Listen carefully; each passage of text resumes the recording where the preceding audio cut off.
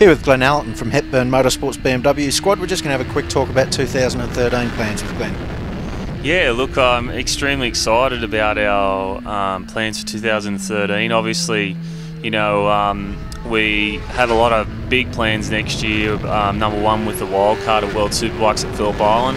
Um, team already in the in the um, planning of that, which is going really good. So, um, you know, there's obviously a lot of work that has to be done to get the engine up to spec. And um, you know we're we're talking with BMW and Shane's doing a lot of work behind the scenes to make sure that we've got the sort of horsepower that we need to to be competitive at uh, Phillip Island, which is going to be, you know, I think it's going to be a really good event because there's a new surface, so uh, it's going to be a totally different kettle of fish with a different surface on that track, which is notorious for being hard on the tyre.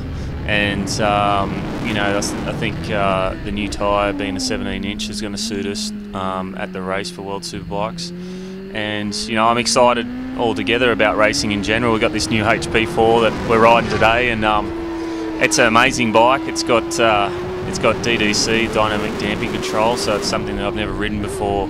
Basically it's got electronic suspension and uh, it changes on the fly uh, it's great to ride with. The bike seems to always feel like it's set up just nicely for you, and it's something that me and the team are obviously going to have to develop to get it right for the race bike. I think just basically to start with, we just change the spring rates just to suit my body weight and um, the demands of a race bike. And um, I think we're already in the ballpark with it. feels pretty good. And um, you know, launch control did a few starts today.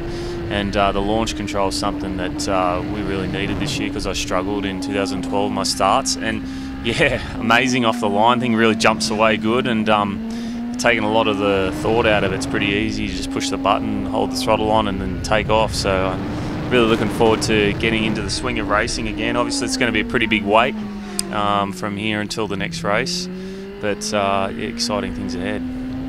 And uh, the team plans with series for next year. I think we might have a couple of date clashes, but you're planning to do Formula Xtreme and ASBK where possible.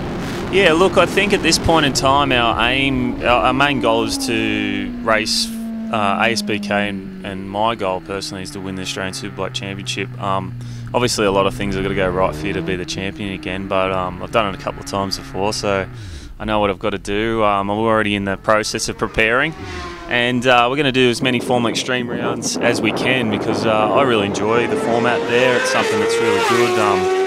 You know, it's always close to home. The races either with my house or the team from from Melbourne uh, racing at Winton. So uh, you know, Eastern Creek, Winton's um, good places to go to and race, and um, definitely want to be involved in that 500k race at the end of the year. Um, would love to get my hands on that hundred thousand dollars.